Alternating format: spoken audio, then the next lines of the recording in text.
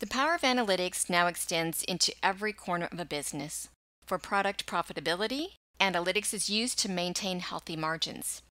Over in marketing, there's a great deal of analytics to determine customer behavior and preferences. How do we encourage them to buy, and what features will convince them to buy? For producers and sellers of physical products, we have the field of inventory and supply chain analytics. The more items you carry, the more complex inventory management becomes.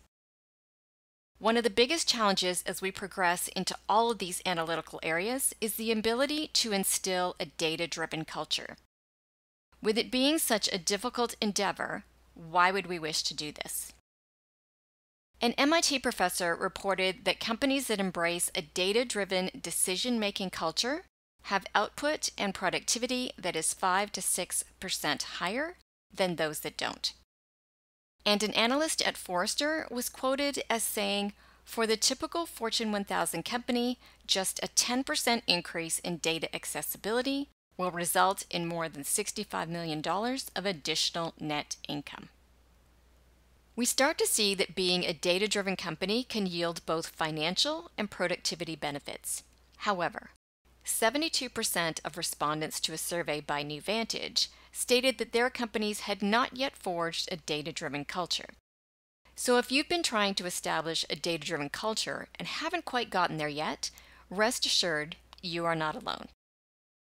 Building a data driven culture takes time, and I can say that it's a journey of several years to educate and change the mindset of many business professionals. We need four things to become a data driven culture. First, a data driven culture needs data. Makes sense. Next, we need the tools by which we can analyze our data. Third, we need the skill sets to be able to use the tools to analyze our data. And finally, we need a mindset shift to get people thinking about and using data for practical decision making. Which of these do you think is the hardest to achieve? Let's talk about data. We need the right data, and by that I mean we need the data which will allow us to answer the business questions we have in mind. We need a data quality level appropriate for the analysis we wish to run. If we only need a directional idea of some aspect of an analysis, then we can accept a lower level of data quality. If we need precision in our analysis, then we need a high level of data accuracy and data cleanliness. We need what data people call a single source of truth. In cases where the same type of information exists in more than one system, we need to agree with our fellow analysts in other functional areas which system should be used. It is not unusual for these systems to be accurate, but slightly out of sync with each other depending on when one system replicates data into another. All in all, this section of establishing a data-driven culture is reasonably easy. Now there are a few additional considerations on the data section of this discussion. With data access comes great responsibility. There needs to be specific guidelines and policies regarding data governance and data privacy. Who can access the data? Who can extract data from the system? How will data be shared while still preventing sensitive information from reaching people it shouldn't? For data protection and privacy, there are existing regulations and there are new regulations being formed. These regulations aim to balance protecting data privacy while also providing transparency to customers and employees as to what you plan to do with their data. In the EU, we have the GDPR. This provides employees the right to be removed from an HR system once they leave the company. It also gives you the right to be deleted from an email list. If you have ever unsubscribed from an email list, that is not the same as being deleted. The state of California put similar rights in place in 2020. I think we can expect to see that expand into other states as well. As of October 2021, Canada is drafting its own regulations, which will also be very similar to the GDPR, in that you will have the right to be removed from your employer's HR system if you request it, And even if you don't request it, your employee record will likely be scheduled for removal in about seven years.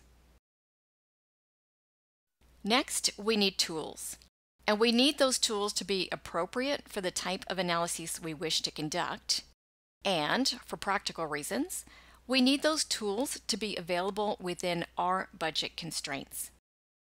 As an example of choosing an appropriate tool, if I'm going to run an analysis once and it's statistical in nature, I may choose to use SPSS, Minitab, or Excel.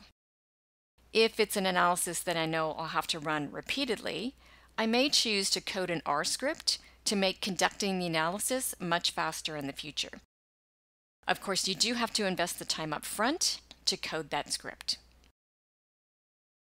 When we speak of budget constraints, you may have noticed that software tools have moved away from letting you buy the software once and toward charging you an annual fee to use it. For example, you may have purchased Minitab in the past and have been using the same version ever since. You'll find that this and other statistical tools now charge an annual fee. You are essentially renting the software instead of buying the software. This trend has increased the popularity of tools like R and RStudio because they are free. In fact, I've seen entire analytics teams in global companies use nothing but R for exactly this budget reason. Once we have data and the appropriate tools to conduct an analysis, we need people with the skill sets to know how to analyze data and how to interpret the analysis within context. By context, I mean that if you conduct an analysis for a specific business area, then you need a certain amount of knowledge about the business area to be able to understand what your analysis is trying to tell you.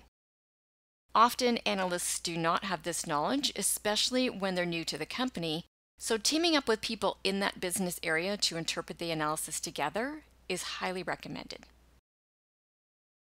An additional skill set needed here to help encourage a data-driven culture is the ability to explain an analysis in multiple languages.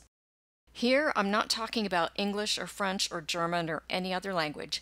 I'm saying that you need to know how to speak to highly numerical people like ops and finance, but still be able to explain your analysis in non-technical words for functions like HR who are not used to mathematical conversations. You'll need one more skill in this section, and that's the ability to plan for efficiencies. As your company begins to embrace data, as an analyst, the number of requests you receive for data and analysis will ramp up very quickly. If you don't plan for efficiencies such as creating automation scripts or building self-service tools, you will quickly become overwhelmed. Plan for efficiencies today to free up resources for tomorrow. Finally, we have the most difficult quadrant, and that's changing the mindset of people in your company. This quadrant will take the longest and it will take several years, but it is possible. If you read articles online about creating a data-driven culture, you'll see that it always says to start with executive support. That will certainly speed the journey, but in reality, most people will not have that support. You can still succeed from the bottom up like I did. To succeed, you need to realize that people can't envision what data can do for them if they've never seen an example of it.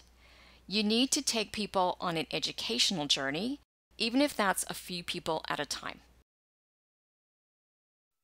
Once people see examples of analyses you've conducted that generated value, which means revenue generation, cost savings, or increased productivity, then they have new ideas of what can be done to help them in their own business areas. It takes patience and the willingness to teach the basics like data literacy. What is a trend? How are conclusions from a chart distorted by poorly designed graphs? What is the margin of error? What does it mean on a survey or poll result?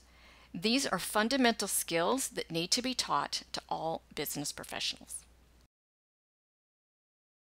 To start spreading a data-driven culture within your company, you need an intentional plan. Perhaps you form a community of analysts throughout your company. Maybe schedule 30-minute lunch and learns to share successful analyses you've conducted and the value it provided to your company. Building a data driven culture takes time, but it can be done. To help you on your journey, I'll share links to several resources in the notes. If you're looking for courses or downloadable templates related to metrics and analytics, you can check out my academy. If you'd like to ask a question or seek advice, you can join my private community, which is hosted in the same location as the academy. And of course, there's a variety of educational videos on this YouTube channel. If you enjoyed this video, feel free to press like and subscribe. Click the notification bell to receive a message when new videos are released. You can also explore the other videos in this series or visit our website for more information on how to use data analysis to improve your business.